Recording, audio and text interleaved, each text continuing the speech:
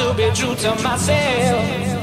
And it feels like I am just to love you. So I'll be on my way.